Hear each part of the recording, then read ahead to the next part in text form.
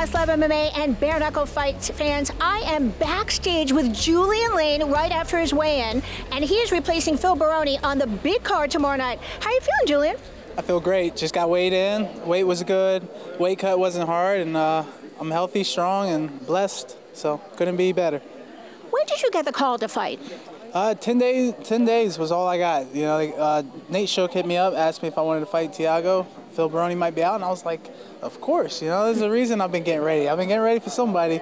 So I've been staying pretty busy the last few months, and it, hey, it couldn't happen at a better time. What are the keys to winning tomorrow night against Thiago? I would say my key to victory is my speed. Um, he's been training for a guy like Phil. He has a, uh, even has a big sparring partner. His buddy's kind of larger than me, so I'm, I'm, hoping to come in there and, and shock him with my speed, and speed is power, and that's how I'm going to get the fight, get the knockout.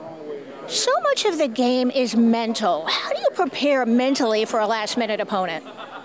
Uh, I don't know. I just hey, I've been pre preparing uh, 10, 12 years mentally now. You know, it, it, takes a long process to really get that mental part down packed. You know, but uh, we'll find out tomorrow, you know, whether I, I, got it down or not, or if I'll be in there just slugging it, or if I'll be focused and sharp. So we'll see. But uh, I'm hoping to go in there either way and get the W and get the knockout.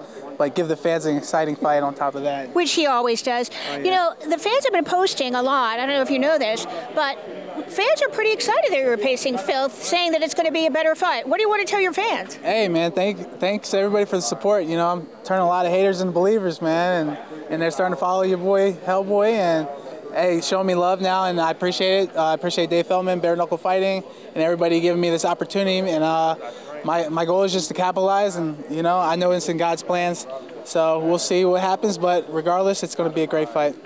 Thiago posted something on his Instagram recently. I got to check here. It says he's going to put you away in the second or third round. Yeah, what is your response to that? I actually watched that. I was, you know, he kind of looked a little, he looked a little scary in that video too, right? Yeah. But I think, you know, that's that's the kind of fight I like because that's what brings the fight out of you is fighting somebody that you don't expect to beat. You know what I mean? And I, you know, a lot of people probably expect me to win.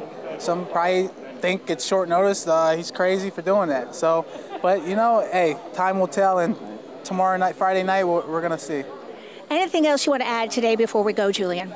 I, I just want to give a shout out to Mansfield, Ohio, and um, all my all my team that's helped me prepare for this, and my mom and dad, my, my daughters back home, Brooklyn, Liana, Paisley, and Marie. They're all going to be watching and rooting for their dad, so hopefully I can bring home that W. All the four girls, right? You've got oh, four. Yeah, four girls, so.